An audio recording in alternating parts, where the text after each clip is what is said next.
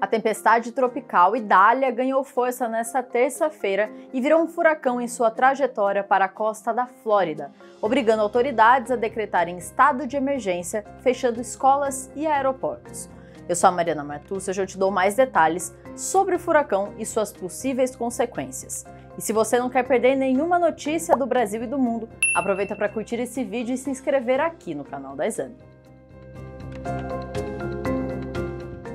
Com ventanias intensas e tempestades que apresentam perigo à população, o ciclone deve alcançar uma intensidade de categoria 3. O furacão tem a possibilidade de estabelecer um novo recorde como o primeiro ciclone de grande porte em pelo menos 172 anos a atingir a Baía de Apalache. A Força Nacional está de prontidão e as retiradas estão em andamento, já que a tempestade tem o potencial de causar impactos devastadores em algumas partes da costa do Golfo da Flórida. A previsão é de que o ciclone alcance o norte de Tampa, na área conhecida como Big Bend, na Flórida. Entretanto, uma ligeira alteração na trajetória poderia aumentar a vulnerabilidade das populações residentes.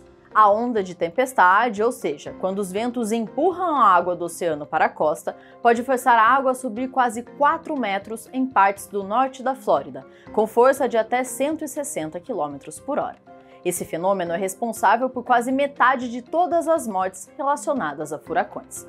Conforme a tempestade chega, medidas vão sendo tomadas. Aeroportos fechados, evacuação em pelo menos 22 condados, escolas fechadas, situação de emergência declarada e suspensão de serviços hospitalares. Acredita-se que a tempestade ganhará força de forma rápida à medida que atravessa o Golfo do México, atingindo uma das águas mais quentes do planeta antes de chegar à Flórida. Se isso acontecer, o furacão Idália pode se juntar a uma lista de tempestades devastadoras que se intensificaram antes de atingir o continente, como o furacão Ian, que arrasou a costa do estado, deixando mais de 100 mortos. E vale lembrar que não são apenas as áreas costeiras que apresentam risco à população. As áreas do interior também podem sofrer inundações perigosas e fortes chuvas. Perigos relacionados às chuvas também acontecem até 160 quilômetros de distância do centro da tempestade.